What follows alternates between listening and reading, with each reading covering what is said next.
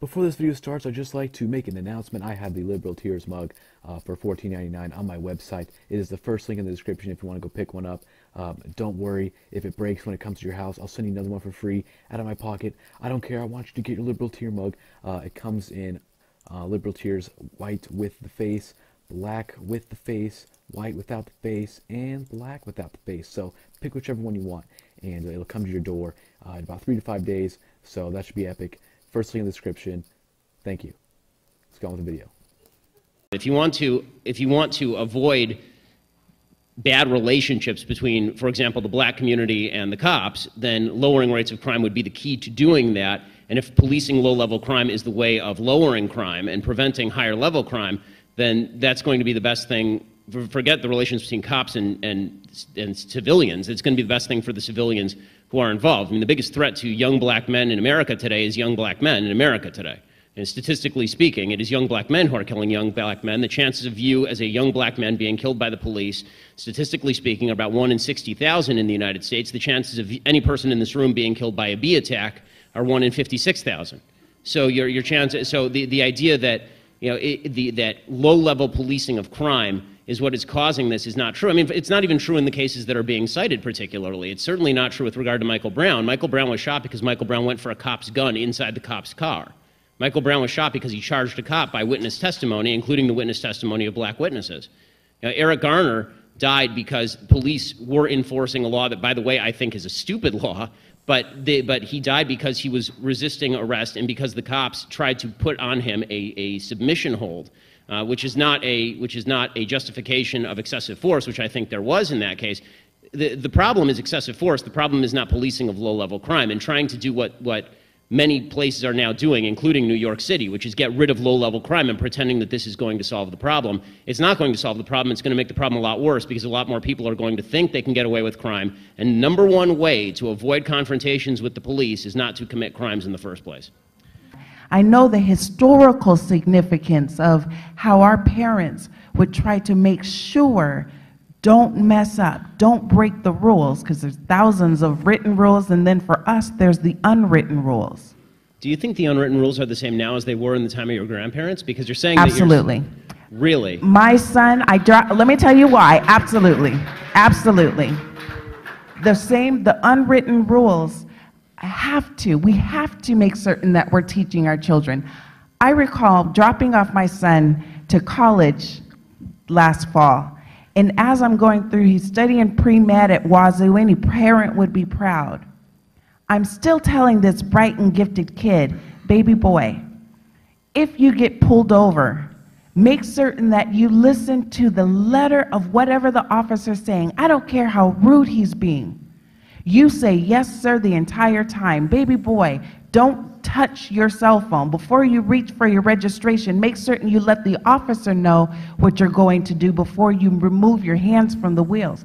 Those lessons come from our grandparents, but it's understanding. Those aren't the same lessons as, as 80 those years the, ago. Those the, the, are lesson, the lessons of 80 years ago were significantly more strict than tell the cops before you reach for your red. I mean, if those are the same rules, then my parents told me, and I'm pretty white. You know, like, like, so it's, I mean, I'm not, I'm not suggesting, I'm not suggesting that, that young black men don't get a different look from a lot of cops. I'm not suggesting that at all. What I am suggesting is that the rules have changed pretty significantly, and if we're going to act like the cops treat young black men now the way that they did 50 years ago, that's just a, it's a slander on cops. I believe that they do.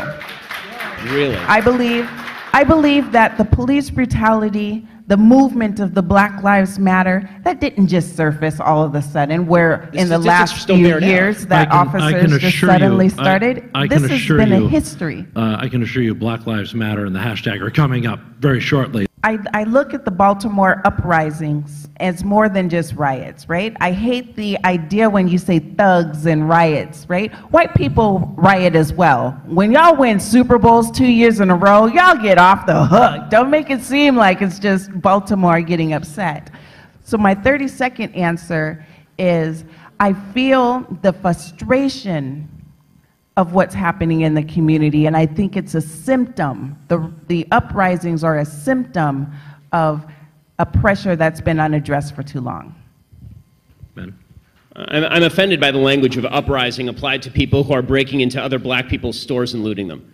Uh, this is not. This is a lack of values, and people who people who are destroying private property, destroying cop cars, in an uprising against what exactly? Against the black police chief, against a mostly minority police force, against the black mayor, against the black president, against the black attorney general, against the entirely uh, against a, a city council that, that is nine of 15 are black and all 15 are elected Democrats. Uh, what is the uprising against? What is it seeking to achieve? I still don't see what exactly the, the, the riots are seeking to achieve. Bottom line is, Uh, this is all, it, it all could be boiled down to just act like a mensch.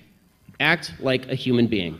Honestly, it's not a useful, it's not useful to riot, it's not useful to break things, it's not useful to throw rocks at people. And the idea that we're supposed to sort of correlate Let's, let's your hold level off of outrage. idea. I'm going to stick to the 30 seconds on Yeah, this the last sentence. The, the last Yeah, sentence. The, the idea that we're supposed to correlate your level of outrage with a certain level of justification. In other words, the more outraged you are and the more angry you are, the more justified you must be, is absolute nonsense. How can you argue that racism is not a driving factor in income inequality? Because it has nothing to do with race and everything to do with culture. And when you have a culture that doesn't, and when, and when, you know what? Explain to me. You explain to me why black kids aren't graduating high school. Explain that one to me. Explain to me why black kids are shooting each other in rates significantly higher than whites are shooting each other. Explain to me why 13% of the population is responsible for 50% of the murder. Explain to me why the, why the number of blacks, black kids in prison, not for innocent reasons, not for walking down the street and getting pulled into a prison, is so high. Explain, if it has nothing to do with culture, explain to me why the single motherhood rate in the black community jumped from 20% to 70% in the same course of time that the civil rights movement has made such tremendous strides. Is America more racist now than it was in 1960? And if it is, please explain to me how that happened. Overwhelmingly, men commit crimes more than women, but we don't say that the Justice Department is, is sexist. So, is there, is there a line that you draw for yourself, or is there some, some way that you interpret statistical disparity and you determine that that is not a racial disparity, it's something else?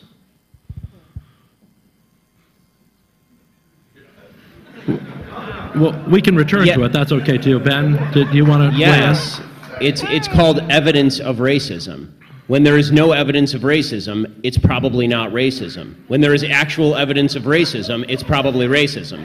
And the fact that everybody jumps from there's inequality and therefore there is inequity, just because there's inequality does not mean there was inequity. But there has to be racism. You can't be, you can't say there isn't no racism. Without evidence? no, no, no, no, no, no. I'm just saying that uh, I don't know which animal. Uh, maybe you, You- you- know maybe we're talking about, dogs racist. or something. I'm, I'm talking about human beings, and I'm like, human beings are most likely going to have racial prejudices. I'm just so sorry. I, I, I'm just so sorry. I, I don't know. I, I, I, I don't come. From a, I don't come. I, I come. no, I come from. I come from planet Charles, Earth. Charles, I just I want to ask you a question. So your default, your default is that when there is no evidence, racism is the deciding factor. That is No, no, no, I was not saying that. I'm just saying that, uh, that you're going to have sexist, you're going to have racist, you're going to have all this stuff. I mean, I'm just saying that. I agree it exists, but the problem that I'm seeing, and, and this is the problem with the general conversation, is that there's no solution in simply saying there's racism out there. How does that solve anything? I mean, when, when you talk about there's institutional racism, what does that mean? Show me a law that is racist in intent, and we will agree. Show me a police officer who commits a racist act, like we saw in South Carolina, right, where a police officer shot a black man running away and it was obviously unjustified, and I will agree. But you need, the, the, the idea that you can craft a narrative based on no racism because it just must be somewhere out there in the ether, that doesn't solve problems for anybody and creates more problems for people because now they grow up in a, in a milieu and an environment where they are told that every obstacle they face is from some shadowy, nameless, faceless group who is out to get them simply because of the color of their skin. They'll never succeed in that environment. I'd hate for us to walk away thinking Ferguson was just happening in that small town. We've got to broaden our lens and we have to understand yes, we used Ferguson, but it was used to talk about something that's happening throughout the country. Ben, I can get a quick, re- I can get a quick response uh, from you, and then I've got a follow-up question for Monique and a separate follow-up question for Charles. On, on the Black Lives Matter idea, I'm, I'm, I want to find the people. I, I want to find the people alongside you who think Black lives don't matter. I, I'm still looking for those people. Really, I mean, like the, the, the the implication is, of course, that for a bunch of people out there, for some reason, they're, they're fine with black people getting shot in the street for no reason. Hands up, don't shoot was based on a lie. That's problematic. The idea that there is a, a, a huge number of black young men who are being shot for no reason by police officers is not statistically true. It's just not statistically true. The fact is that according to statistical studies at John Jay College, if you are a white man in a similar confrontation with police, you have a better chance of being shot by police than if you are a young black man. More white men are shot by the police every year in the country than young black men are shot by police in the country. The idea that, that there is a spate, and, and, I can, and there's an easy proof. We know all of their names. We know all of their names. When there's a broad, there are 30 million black men in America. Okay, when we know all of, President Obama said that we have a spate, it's a slow rolling crisis. Once every couple of weeks, we have a case that's under dispute. So let's take his statistic. Okay, so let's, let's say it's 26. Not one is too many, and we all agree. But is it, is it really a, a slow rolling crisis with a broad trend across the nation when there are 30 million black people in the entire country and 26 people are shot under disputed circumstances and probably at least half of those, the cop is at least justified? In Michael Brown, he was justified. Okay, and, and Let so me- ba- basing it on falsities, you can't base a narrative on lies. We're- A lot of people are murdered by the United States military for this country. How many fucking countries are we occupying right now? Answer that. For that Answer flag. That. Answer that. How many Native Americans died for that flag? Answer that. How many? How many? Answer. Fuck genocide. You're real quiet now. We're talking about genocide. We're talking about colonialism. Genocide? How many Genocide.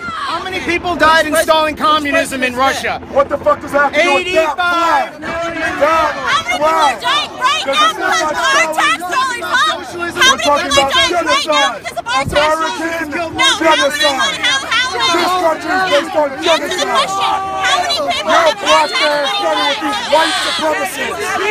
You're standing with Nazis, bro. You're standing with Nazis.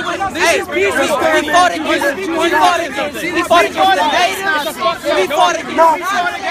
You're a fucking Nazi. You're a fucking Nazi. Say you're not. And why you acting like one? Why you acting like one? You wouldn't know what a Nazi was. Why you acting like a fucking Nazi then? It's you, bro. Why are you here supporting Trump? Why do you support Trump? You're a Answer fucking that. idiot. You're an. Why do you support Trump? Why do you support Trump? Why do you support Trump? Mike Broder, you got a bottle of water? you support Trump? If you got, hang on a second. Hang on a second. listening. If you guys want, I'm listening. very funny. We fought against I'm Really? Watch out, Ed. No, fuck that. Yeah, get the fuck out. Get the fuck out. Out. Get the hell out. We don't support fascism here. We are not for fascism. Trump is fascism. Trump is fascism. Nazis, racists, KKK. Nazis, racist, KKK. Trump Go away. Nazis, racist, KKK. Trump supporters, go away. Nazis, racist, This is liberal and KKK. Loving right here. Yeah, these eggs being thrown on the floor, it's because they love us. Don't you guys get it? They love Trump supporters. That's why they beat you up. That's why they fucking throw eggs. Wow, that's not even Nazis, good. racist, KKK. God, man, are you kidding me? Supporters, go away. Nazis, racist, KKK. Trump supporters. Nazis, racist, KKK. Nazis, racist, KKK. KKK. Peaceful protest. This is what peaceful protesting is right here. Fuck Trump. Fuck Trump. Fuck Trump. Fuck Trump. Fuck Trump. Fuck Trump. Fuck Trump. Fuck Trump. Fuck Trump. Fuck Trump. Fuck Trump. Fuck Trump. Fuck Trump.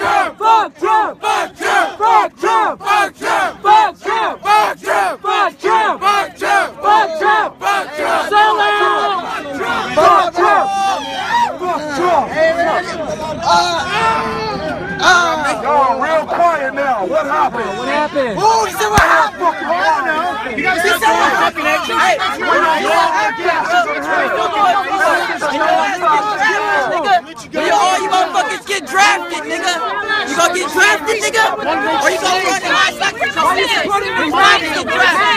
You're not I don't wanna serve your face. I don't wanna serve your face.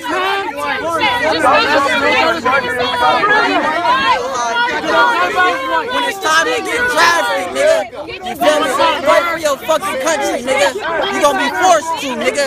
When it's time to get drafted, nigga. Right up, nigga. Oh, you can throw eggs though, right? Why are you not throwing eggs?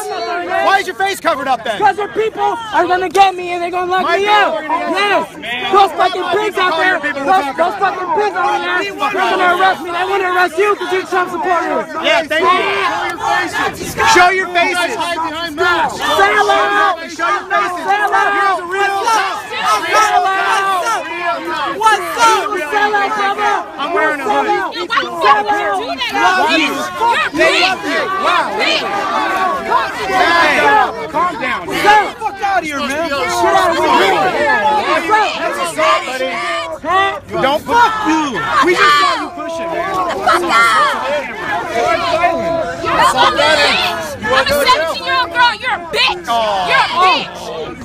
Bitch. Do something, bitch. What you guys stand for? This is this is peaceful protest. Yes, they're lovely. I got pushed. You're a bitch. I got You're a pushed. bitch. Actually, you, you guys are family again. Bitch. You're a bitch. Would you die for our right to speak like this? Would you die for our right to speak like this? I actually fought for your right to speak like this. We don't have any rights! You have the right to stand here and do this, don't you? And so do I. And so do I. Fuck you. Fuck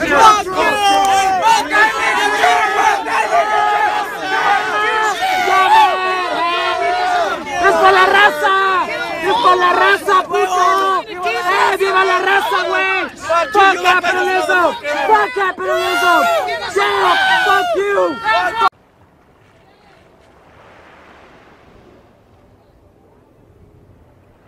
Hello, everyone. Hey, I'm just stopping by to remind you that liberals are insane. Social justice warriors are becoming more violent and triggered than ever before. Anyways, be sure to subscribe to KGP TV on YouTube and have a blessed day. Yeah, man.